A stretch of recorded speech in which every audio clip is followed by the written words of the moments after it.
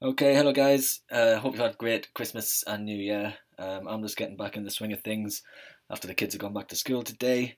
I've got the dreaded flu that's going around um, my region, so I apologise if this is a scrappy video, but I just haven't got it in me to keep recording or editing or whatever. Um, so, got some decent insights after this governance vote that you might be able to use when you choose your delegations today. Let's quickly explain what happened in the governance vote. Um, the previous vote power lock was 10%, so all of these guys here would be able to dish out these reward rates per 100 wrapped songbird that you delegated. Now, as the vote power lock has been dropped down to 2.5%, if you were delegating to Evolve here and they're double the 2.5%, that means you only get half of this reward because you'd be diluted. I hope that makes sense. The fact is, anybody above 2.5% means you're not going to get as many rewards as you've enjoyed recently. Now, I haven't put a spreadsheet together or anything here, simply because this is kind of an experimental week. It's worth noting that the vote power isn't just about reaching the cap, it's not just about staying under the cap. The guys with the most votes get the best weight to their price feed that goes to the FTSO. So if you're at the top and you supply decent prices, you might get selected, even though the guys down here are uh, maybe providing better prices, but they don't have the vote power.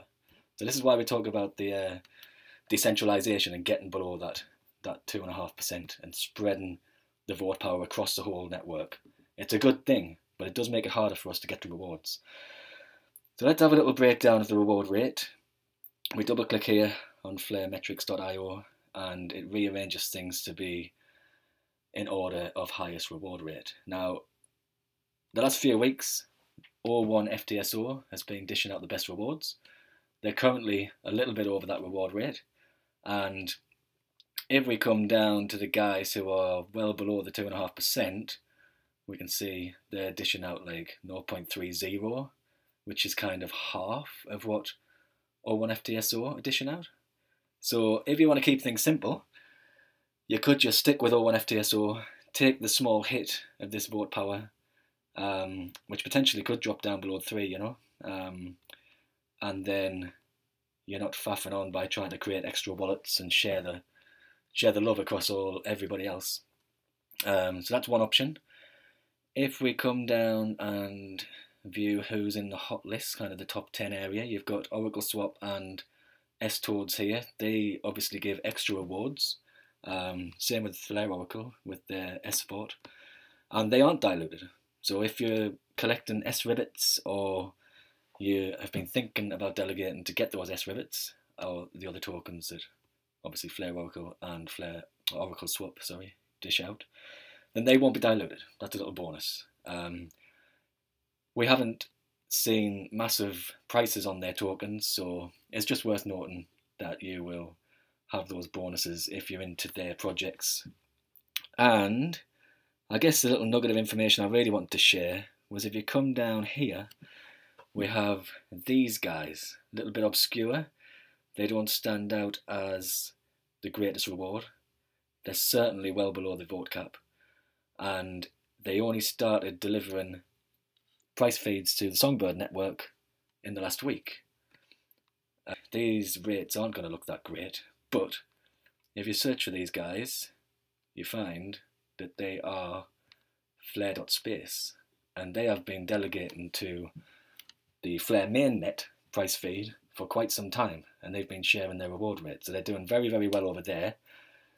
And it's their first week delegating to um, to the Songbird network. So it looks like this obscure chap here could be a great bet to stay underneath the 2.5% and watch this climb as the weeks progress. Um, they have got a high reward, um, what's it called? High fee in the sense that it's 20%, but I don't think that's going to make much difference over this week where people are getting diluted left, right, and centre.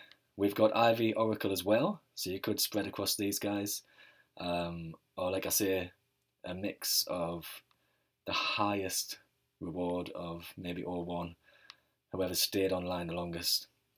And yeah, it's good. It's good to share it out.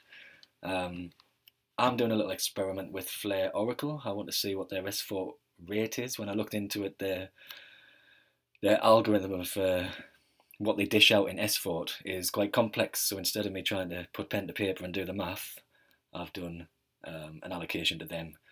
Um, so I am allocating my delegations to two providers this week, and I've got an iPad on stand with an extra Bifrost account, so I can pull that out to four quite easily with the things I've got. I've also got older iPhones knocking around, which uh, potentially I'll boot up and get another Bifrost account, and then they'll be in airplane mode offline, you know, between boat lock periods, and that's a very safe way to keep care of your uh, assets.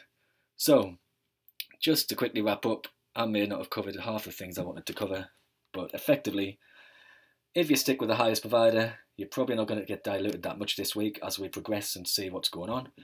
It's well worth having a look around and seeing if you do want to earn the extra rewards from Oracle Swap, uh, Flare Oracle, S Toads, and the lower rate providers down here are obviously a nice gamble if you're confident that we're going to get some sort of a boost in their reward rates through the week.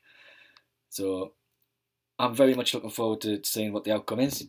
Um, very much looking forward to Monday when Flare tokens get to our wallets.